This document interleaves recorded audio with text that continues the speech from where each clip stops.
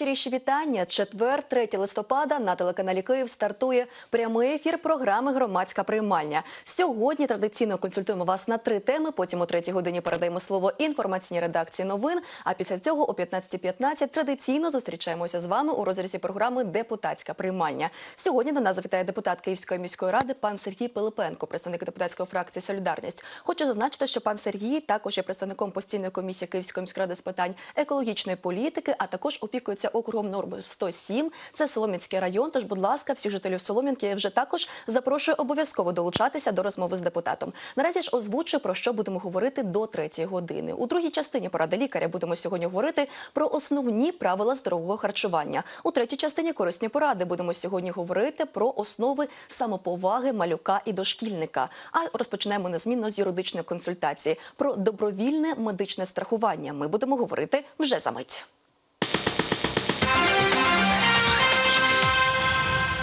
Всім відоме давнє прислів'я здоров'я за гроші не купиш. А от його профілактика та відновлення, на жаль, можуть обійтися дуже дорого. Ситуація, якщо хворіє той, на кому тримається фінансовий добробут родини, і ще ускладнюється. У більшості європейських країн на подібні випадки склалася вже традиційна практика медичне страхування, яке дозволяє захистити своє благополуччя на випадок хвороби або нещасного випадку. Які є види медичного страхування, як укладається відповідний договір, і які при цьому є ризики? Сьогодні нам роз'яснює адвокат пані Ірина Хан. Пані Ірино, дуже рада вас вітати. Добрий день. Доброго дня. Шановні глядачі, прошу не зовсім у традиційний час сьогодні розпочинаємо наш прямий ефір. Однак я наголошую на тому, що це саме прямий ефір, і сьогодні будемо піднімати таку тему, як добровільне та обов'язкове медичне страхування. На жаль, так склалося у нас ще історично, що немає у нас такого законодавчо визначеного саме обов'язкового медичного страхування. Саме тому будемо сьогодні акцентувати увагу саме на добровільному. Однак, якщо у вас будуть відповідні запитання, ми також будемо раді їх почути. 223 09 71, традиційно нагадаю вам номер телефону прямого ефіру. Вже чекаємо всіх ваших запитань на цю тему. Отже, пані Ірино, ну по-перше, хочеться, щоб ви роз'яснили, що взагалі собою являє наразі саме поняття добровільне медичне страхування. Прошу. Як ви вже зазначили, загальнодержавного обов'язкового страхування в нас ще не введено. Анонсується таке введення з 2017 року, на що Так. сподіваємося, розраховуємо так. Е, Є така форма, яка не замінює, а лише може доповнювати загальнообов'язкове е, медичне страхування як добровільне. Його назва сама говорить за себе, тобто добровільно особа чи третя особа, е, можливо, компанія в інтересах працівників укладає е, такий договір страхування з страховою компанією, яка е, зобов'язується у випадку настання страхового випадку. В даному випадку це хвороби, відшкодувати вартість е, такого лікування. Тобто хвороба або нещасний випадок це може бути правильно там в залежності від умов Конкретні договору. страхові ризики вказуються в конкретній програмі е, страхування, так, але зазвичай це таке безперервне е, страхування, тобто передбачає періодичні звернення особи до лікувального закладу, профілактичні, можливо, огляди, звернення до поліклініки. Звичайно, це все є страховими випадками, необхідність е, отримання такої медичної допомоги. Можуть бути спеціальні, наприклад, на випадок пологів, е, на випадок догляду вагітних е, дітей. Це до все можна передбачити у договорі відповідному. Ми ще поговоримо обов'язково про договори і про те, що входить у стандартний набір послуг. Але я хочу, щоб ви роз'яснили наразі, наскільки часто дійсно е, мешканці нашого міста і взагалі України звертаються до такого виду, як добровільне медичне страхування. Ну, даний вид е, страхування є досить зручний і е, корисний для пацієнтів. Звичайно, єдиний недолік можна відзначити. Це звичайно, що це не дешевий, е, не дешевий продукт. Звичайно, що масово люди, на жаль, не можуть скористатися такі, такою послугою. Але звичайно, той стан медицини, який ми маємо, і незадовільний е, стан і послуг, якість відповідно. Особи, які бажають, купують е, такий страховий продукт і ним користуються. І це є досить зручно, оскільки всі. В тому числі організаційні моменти бере на себе страхова компанія, яка має так званий асистанс, тобто службу підтримки своїх е, е, клієнтів. Вони організовують надання цієї медичної допомоги, підбирають і заклад, і необхідного лікаря. Тобто це досить зручно і відповідно від набору послуг, так це все залежить. Є Саме вартість. Так, вартість. Тобто правильно я розумію, що власне зараз лише е, вартість е, цієї послуги зупиняє людей від того, щоб оформлювати медичне страхування.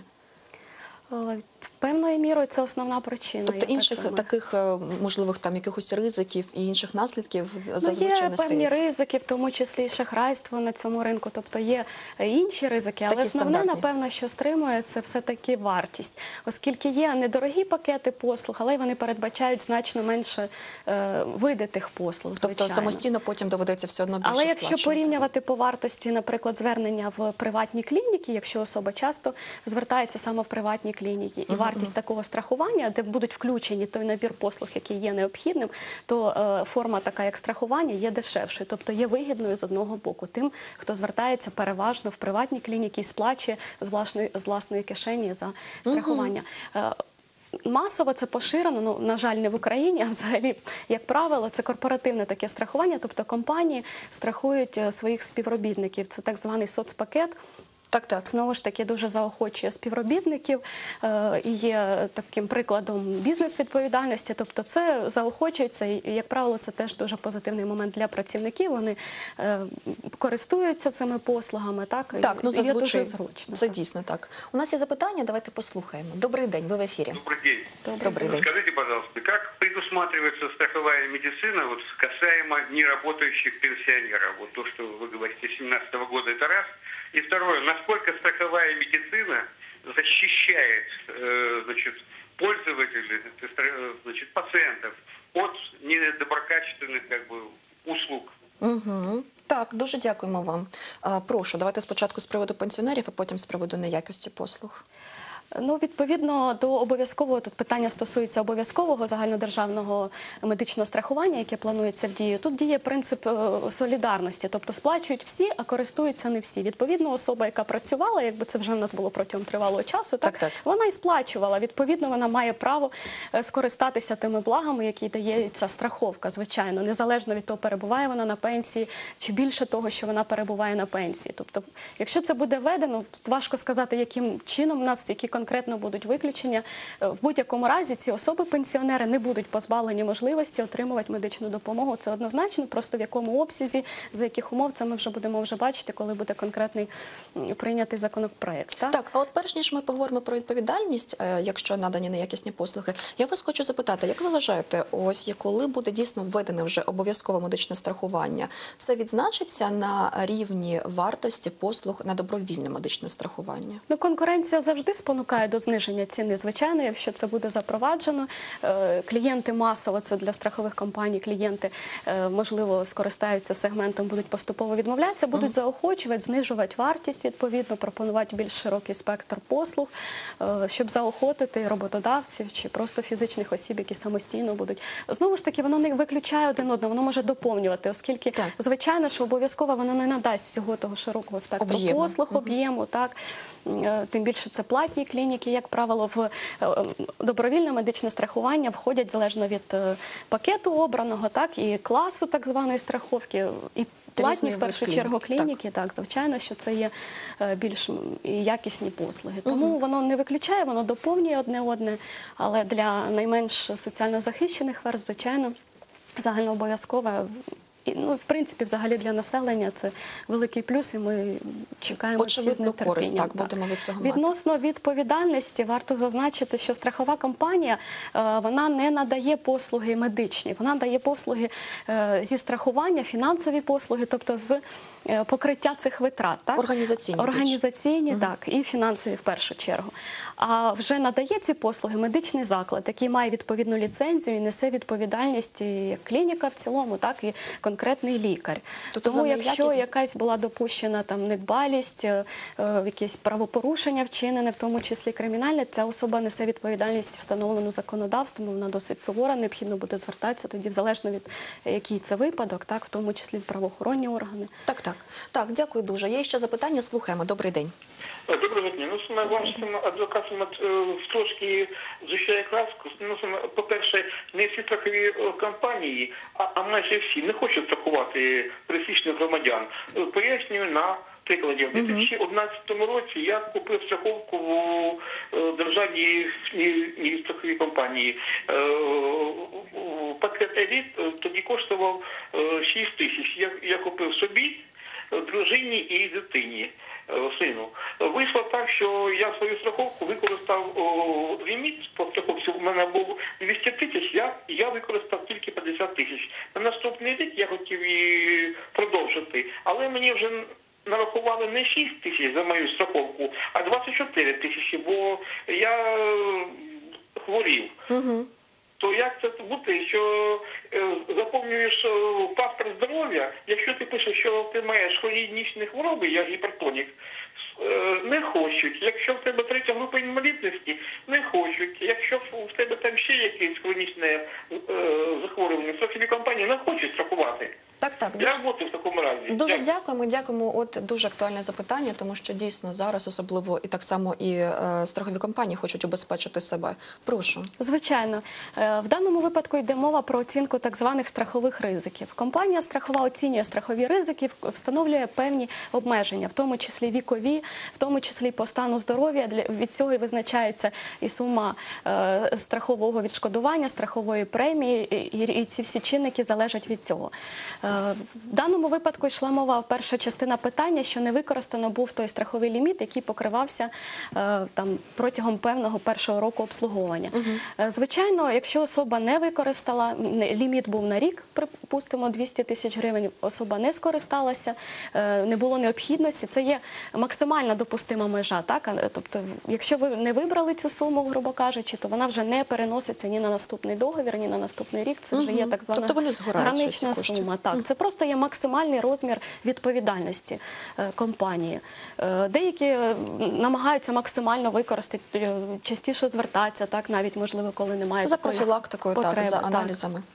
От е, тому, що всі призначення мають бути призначені лікарем. Ви не можете самостійно придбати певні ліки чи звернутися. Тобто, це все під наглядом лікаря. Необхідно звертатися. Так, якщо потребує особа такої допомоги, то їй це призначають. Можливо, вона або не потребує, або не скористалася. Так, тобто, це є просто максимальна гранична межа. Відносно тих обмежень, так дійсно страхова компанія самостійно їх встановлює.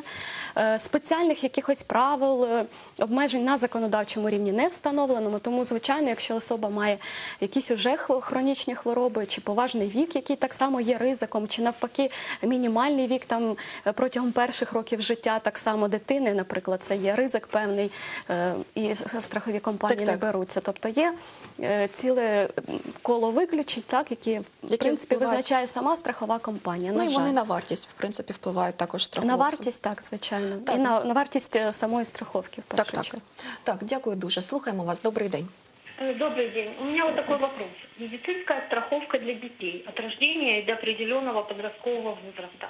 Вот какие юридические моменты важны? Могут ли родители застраховать ребенка? И вот имеет ли это, как говорится, смысл? Ну, спасибо. Угу. Так, дякуємо дуже. Звичайно, якщо мова йде про дітей, то тільки батьки вони є законними представниками дитини і укладають відповідні договори страхування щодо своїх дітей.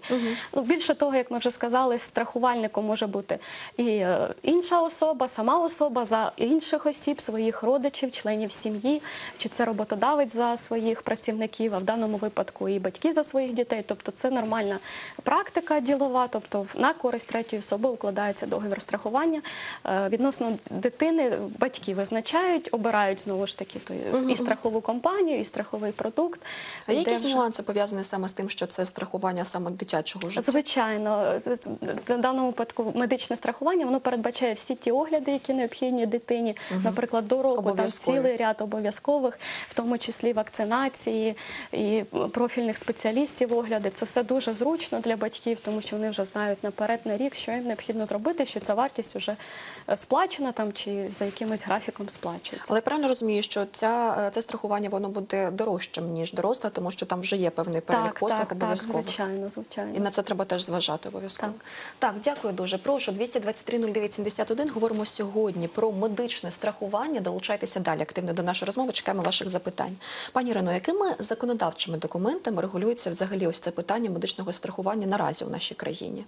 В країні діє закон про страхування, який встановлює загальні правила відносно всіх видів страхування, в тому числі і медичне страхування, вимоги. Так, тобто якихось спеціальних, е, як ми вже зазначили, це в правилах самої страхової компанії, яка має ліцензію на певний вид страхування. Вона вже визначає конкретні умови, повна їх іде деталізація, які треба вивчати на рівні з договором страховим полісом. Ще й ці правила вони досить об'ємні, як правило. Тобто у кожної страхової компанії можна сказати свій окремий порядок, свій Так. окремий статут, свої окремі правила на кожний вид страхування. Так. І не визначено ніякого типового договору, який би там під всі Є умови, що обов'язкові для договорів, тобто сторони вказуються права обов'язки, відповідальність, страхові платежі, суми виплати і так далі. Це все е, є умови, які обов'язкові для договору, але я ж кажу, об'ємні це є правила і виключення з цих всіх страхових випадків. Це все необхідно детально вивчати, саме в правилах вимагати. Е, Це надається, як правило, у відкритому доступі, навіть на сайті може міститися. Просто А не є- полінуватися, прочитати їх до кінця. Ну, Так, так. А є якийсь стандартний перелік послуг? От хоча б він законодавчо чи якимось чином визначений, що от ми знаємо, що от коли ми підписуємо договір, там дійсно можуть бути якісь виключення, але от якийсь стандартний перелік послуг обов'язково має бути передбачений. Ну, це вже практика, яка склалася. Тобто стандартний набір послуг це поліклінічне обслуговування, тобто до спеціалістів е, може особа ходити без обмежень, звертатися е, в разі необхідності. Е, швидка допомога, звичайно, екстрена медична допомога входить, це обов'язково. Але вже перелік клінік, до яких ми звертаємося, вона вже залежна від пакету цих. Тобто є, наприклад, там економ, стандарт, преміум, віп і так далі. Так, вже так, так. залежно залежно зірковість цих клінік е, підвищується і е, спектр тих послуг розширюється, звичайно. Там аж до басейну, вітамінів, чого завгодно може входити в цей Так, пакет. так.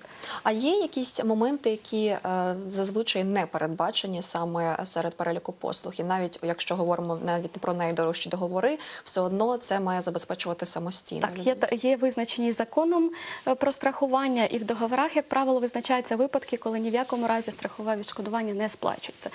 Це, наприклад, коли особа самостійно заподіяла собі тілесних ушкоджень, намагалася вчинити самогубство, вчиняла злочин, перебувала в стані алкогольного сп'яніння і так далі. Тобто є обов'язкові, е, подала недостовірну інформацію щодо стану свого здоров'я на момент укладення договору. Тобто є перелік виключень. А якщо так сталося, що дійсно е, особа подала, там припустимо, ось е, ці невідповідні дані про стан свого здоров'я, там е, приховала, що в неї там можливо якась якась хронічна хвороба. Яким чином потім відбувається ось цей процес, коли е, все-таки визначається, що воно має місце? Це медичні огляди, і в подальшому необхідно встановити, що ця хвороба дійсно вже була на момент звернення. Так? То, Якщо це можливо встановити, так це буде очевидним з медичних висновків певних, які будуть чи надані цією особою, чи в історії хвороби десь, то страхова компанія може інформувати таку особу про те, що вона порушила умови договору і відмовити їй в обслуговуванні. Тобто це просто розривається договір, відповідальності ніякої за це не буде передбачено. Ну, якщо в цьому випадку є вина, вона обов'язково повідомляється і причини такого розірвання одностороннього. Наприклад, якщо був сплачений е, вже вартість страховки на певний період, то частина відраховується вже фактично понесених витрат чи наданого медичного обслуговування. Частина коштів е, може бути повернута. Ну це вже в залежності від умов конкретного договору страхування, яка частина коштів підлягає поверненню, але така е, обставина може бути підставою для одностороннього розірвання договору. Так, дякую дуже. Прошу ще раз хочу нагадати. Ми говоримо сьогодні про медичне страхування. Будь ласка, 223-09-71.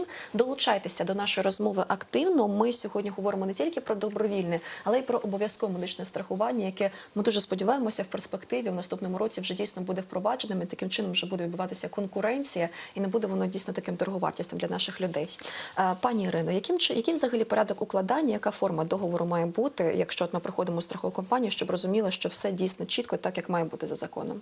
Це обов'язково письмова форма договору, е, тобто це може бути окремий договір, це може бути страховий поліс. Е, Правила і умови страхування, як я вже вказала, вони можуть бути або на сайті, і на вимогу особи вони повинні бути надані. Тобто це як частина договору. В самому договорі міститься застереження, що особа з ними ознайомилася. Тобто варто не просто розписатися в тому, що ми ознайомилися, а дійсно ознайомитися. Тобто це письмові документи. Знову ж таки, частина їх може міститися на сайті. Зараз це дуже поширено. Але вважається, що це також письмова форма, оскільки вона викладена в письмовому вигляді, але, Але тільки на, сайті, так. так. А страхова сума визначається ось у цей процес під час підписання е, договору. Саме? Так, звичайно, в самому договорі вона визначається, і вона е, там відповідна таблиця може бути. Тобто на кожен е, перелік послуг, на кожну послугу певний ліміт, наприклад, встановлюється, чи загальний ліміт на всі послуги. Там, Як особа зазначала, яка телефонувала 200 тисяч ліміт на всі послуги. Так може бути розбивка на кожен вид послуг, певна сума. Можуть бути якісь послуги без обмежень. Тобто це все вже визначається конкретними умовами. А на якому моменті тут е, під час саме ось цього процесу підписання договору і ось розрахування ось цих коштів, можуть бути можуть бути моменти шахрайства, на які слід звернути увагу? Чи може там бути таке, що там кошти, припустимо, які там розраховані загальні чи там помісячно, вони не будуть відповідати дійсно там е, тим потребам, які необхідні? Ну, що стосується на моменті укладення шахрайства чи якихось недобросовісних дій, тут важ- важливо розуміти, що це є дійсно договір страхування, що це є дійсно страхова компанія, яка має ліцензію, яка має е, певну історію, позитивні відгуки в інтернеті і так далі, щоб просто не натрапити на шахраїв, які вам продадуть не страховий поліс, а якийсь е, красивий папірець, а нададуть якісь консультаційні послуги, наприклад, і навіть там е, важко буде довести, що це шахрайство. Ви сплатили просто не за ту послугу, Так. е, на яку ви розраховували. Так? Інколи трапляється, навіть у нас е, можна, я впевнена, що кожен майже фактично зіштовхнувся з цим. Коли це не є страхування, ми приходимо, наприклад, звертаємося, навіть це в місті Києві поширено, особливо що стосується пологових е, жіночих консультацій. І нам кажуть, вам необхідно сплатити страховку. Ми в очікуванні якогось договору страхування, полісу, якихось страхових випадків, що Так, саме так. покривається Офіційно. страховка. Е, Йдемо в касу, а нам дають корінець, що сплатити. Благодійний внесок на користь лікарні. Добре, якщо це на користь лікарні, тобто ми добровільно сплачуємо благодійний внесок, е, і нам кажуть, що ми застраховані. Навіть потім лікарі кажуть, ви по страховці, вам там те включено чи це включено. Тобто якась така так, усталена якась практика вже на рівні самої дивно. поліклініки, і воно досить е, ну, дивно. Виглядає Це не є взагалі відносинами страхування, це є просто благодійний внесок, який ми сплатили. Але таким чином, враховуючи матеріальне становище, конкретно е, поліклініка, лікарня організувала вже предмет уже дослідження інших органів, наскільки це законно. Але формально Але- ми просто сплачуємо благодійний внесок, Внесок. але ми не є застрахованою особою. Так, Хоча це- нам і послуги надають, особливо це стосується іногородніх, так які приїхали до Києва і бажають обслуговуватися. Тобто це дуже поширена практика, але це ні в якому разі не є е, жодним страхуванням, Так. ні добровільним, ні обов'язковим. У тому вигляді, якому це розуміємо. Так, дійсно, дякую дуже, що нагадала дійсно про цей момент, тому що так і кажуть, що це у Так, вас така, так. що у вас таке страхування. Так, слухаємо вас. Добрий день, ви в ефірі. Е, Добрий день. Добрий день. е, Скажіть, будь ласка, а за якістю лікування хто слідкує, якщо застрахована особа? І друге питання, от е, з 1 січня 2017-го, там що то вже передбачено, що перший етап страхування на ну, перші ланки. Ви про що то можете розказати, як це буде? Дякую. Угу, дякуємо дуже.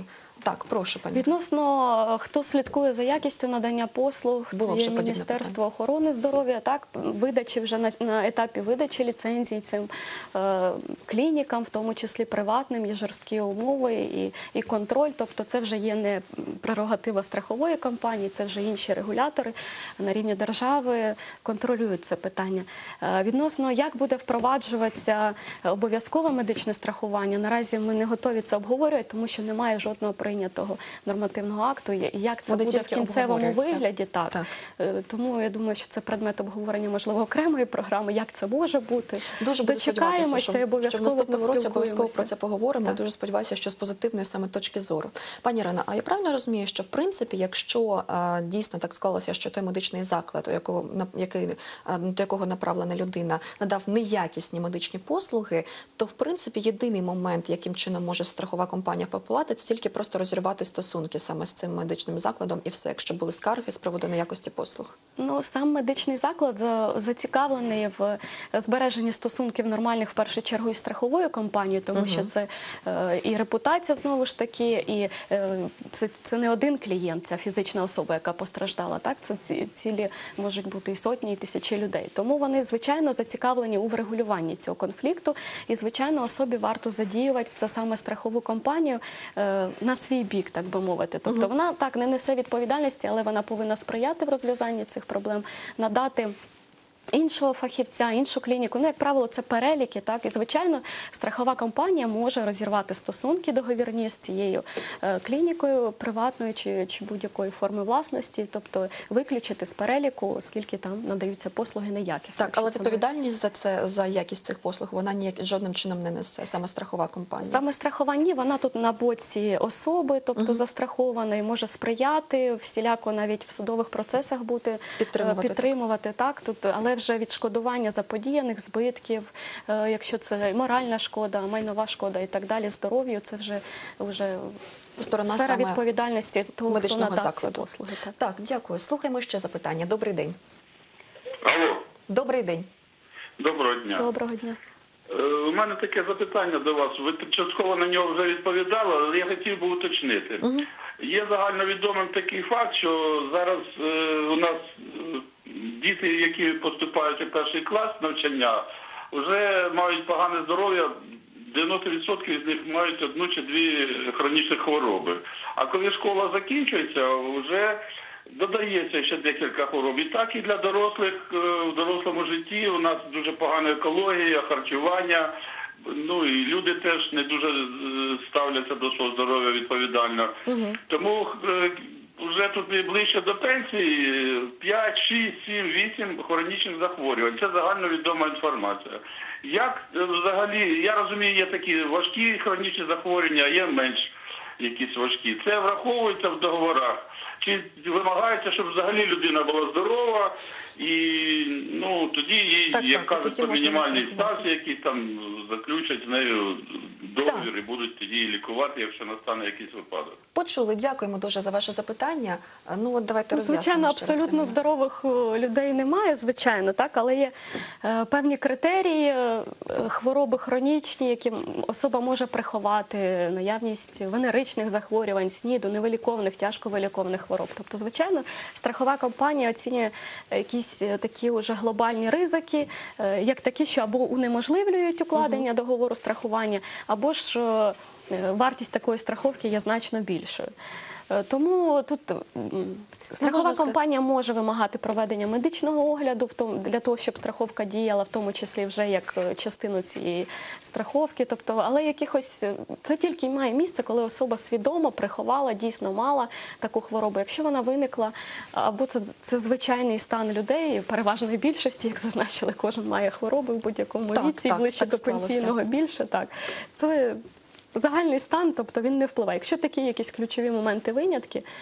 Ну, то звичайно, має це, як ми значення. вже говорили, звичайно, це впливає на вартість взагалі самої страховки, тому що е, страхова компанія має розуміти, коли в наступний раз вже треба буде сплачувати дійсно ці кошти. Слухаємо останнє запитання. Добрий день, ви в ефірі.